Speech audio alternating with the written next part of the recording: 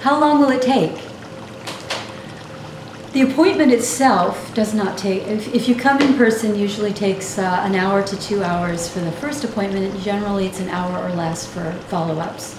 Depending, it depends a lot on you and how much, how many layers of stress you're dealing with, um, how deeply embedded these patterns have become, and, and how the unraveling of the, the, the density of what your health situation has become, how long that takes to unravel. And that depends a lot on you. It depends on uh, your, the regulation that you are in, whether your body is dealing with negative regulation, where you'll be symptomatic, whether you're in blocked regulation, where you feel like nothing's happening and nothing happens even when you get a stimulus, or whether you are uh, in optimal regulation, just everything's just going to be a cruise. Um, that's one factor. And then uh, where you're at in terms of the phases will also uh, determine. Some of the phases take a little longer. Like phase one sometimes takes a little longer to kind of get energized. Um, and then phase two might just be springing straight into phase three.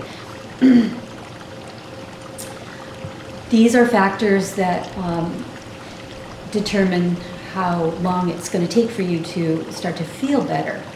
Some, some people feel better right away. They, they take their first dose and they say, wow, already I feel something, I, I'm, I'm moving better, and uh, I'm, I'm remembering things, I'm dream, having my dreams, whatever it is. Some people don't notice much at all, and uh, but over a few months, they start to feel lighter. We can see that uh, if they come in in person or we're Skyping, you can see kind of a grayness uh, in their skin color, a grayness kind of in the field around them, and watch that, that grayness kind of dissipate and the light starts to shine through. The light shines through in the face, in the eyes, uh, more movement and flexibility in the body. Um, and you'll see those things as well. People often will comment, and if, even for somebody who's in blocked regulation, they may have like blinders on a little bit and can't see.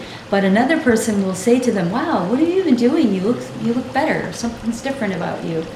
These are the these are more the uh, signals that we look for rather than necessarily a symptom going away immediately. We hope it will, but not always.